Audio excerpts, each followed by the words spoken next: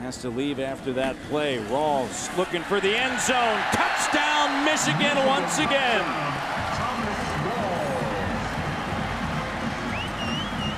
Running away with it, literally.